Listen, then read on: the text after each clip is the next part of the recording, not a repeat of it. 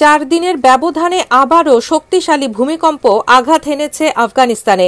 বুধবার স্থানীয় সময় ভোর পাঁচটা দশ মিনিটে দেশটির পশ্চিমাঞ্চলে এ ভূমিকম্প আঘাত হেনেছে রিখটার স্কেলে এর মাত্রা ছিল ছয় দশমিক তিন। তবে প্রাথমিকভাবে এই ভূমিকম্পে কোনো ধরনের ক্ষয়ক্ষতি বা প্রাণহানির খবর পাওয়া যায়নি। ইউএসজিএস জানায়, ভূমিকম্পটির কেন্দ্রস্থল ছিল হেরাত শহরের উনত্রিশ কিলোমিটার উত্তরে এবং ভূপৃষ্ঠ থেকে গভীরতা ছিল দশ কিলোমিটার।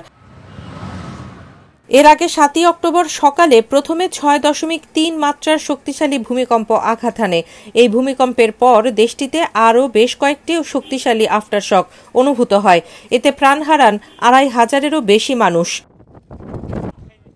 বিশ্ব স্বাস্থ্য সংস্থার তথ্য মতে, ওই ভূমিকম্পে বারোটির বেশি গ্রামের বাড়িঘর ধ্বংস হয়ে গেছে।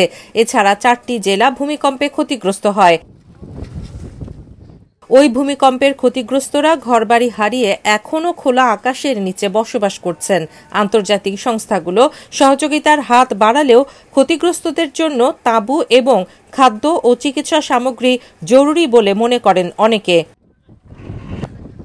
আফগানিস্তান, ইউরেশিয়ান ও ভারতীয় ভূতাত্ত্বিক প্লেটের সংযোগস্থলের কাছে অবস্থিত হওয়ায় এখানে প্রায়ই ভূমিকম্প হয়, বিশেষ করে দেশটির হিন্দুকুশ পর্বত অঞ্চলে